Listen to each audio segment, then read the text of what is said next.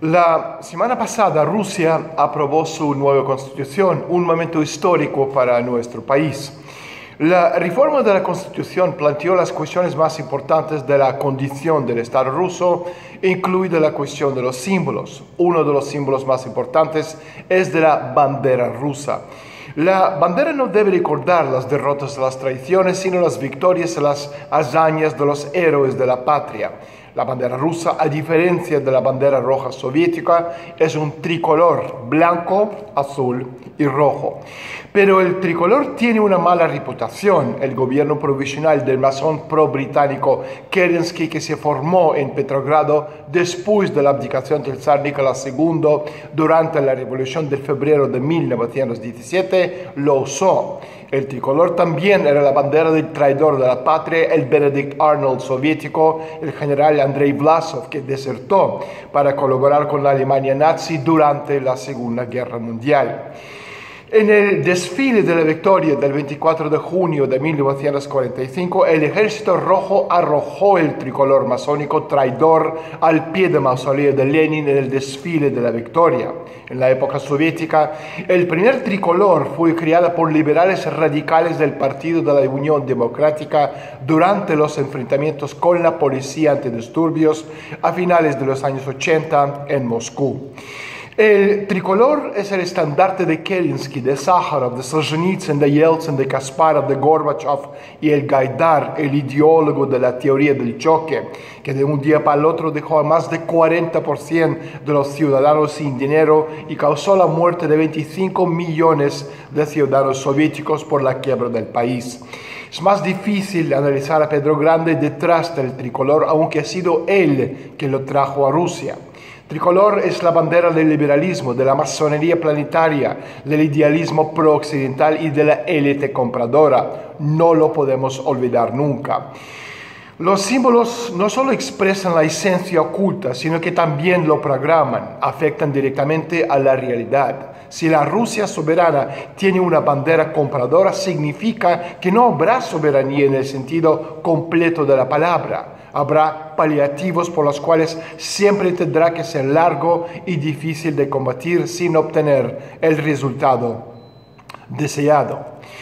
La bandera roja es la bandera de la victoria y de la tradición, pero la bandera roja tampoco se libra de cuestiones vitales históricas. La bandera roja no es solamente la potestad comunista, existió en Rusia en dos periodos históricos hace más de mil años bajo el príncipe Svetoslav Igorevich, famoso por sus campañas militares que provocaron la caída de las grandes potencias de Europa Oriental, Hazaria, el primer imperio búlgaro, y el segundo periodo obviamente bajo los bolcheviques. Ambos periodos fueron cortos y lo más importante, anticristianos.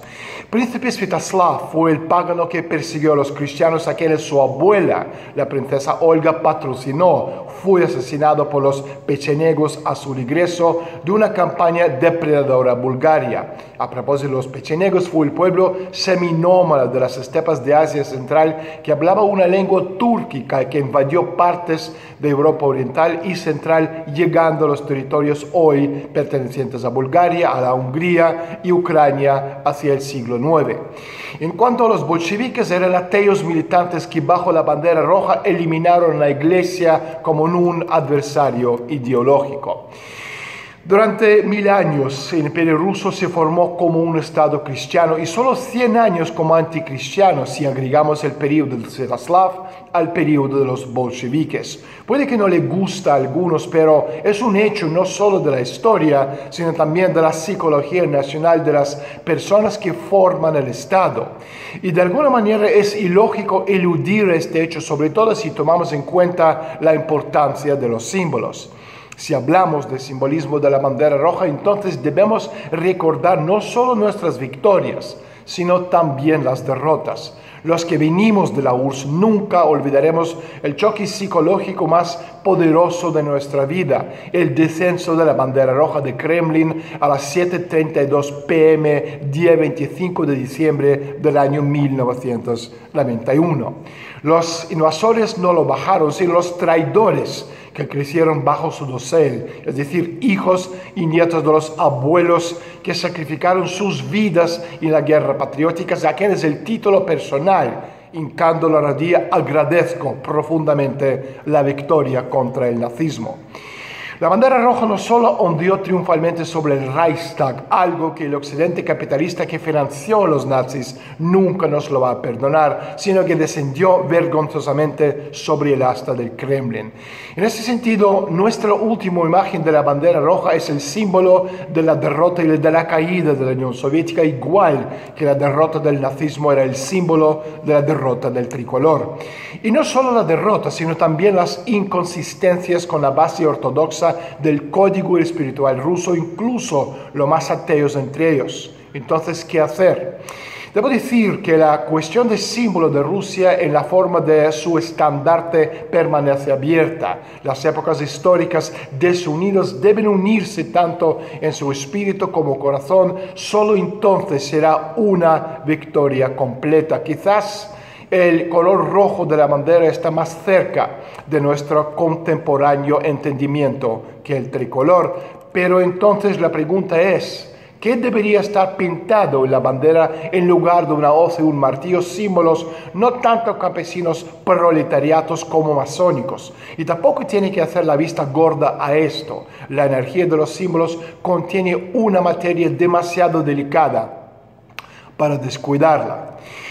La soberanía es un concepto espiritual, el espíritu es un símbolo, el significado del símbolo es superar la división y restaurar la integridad, país, espíritu, pasado y futuro, objetivos y valores comunes.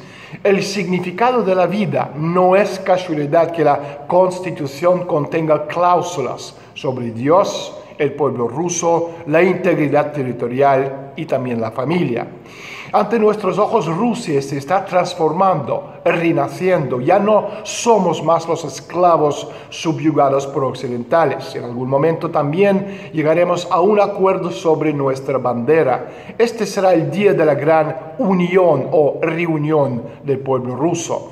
El primer cumpleaños de un país que regresó de la guerra, que regresó del olvido, que se cansó de estar rodillas humillada y subyugada, y una votación sobre las enmiendas a la Constitución la alenó el camino. La unión del pueblo ruso ha comenzado.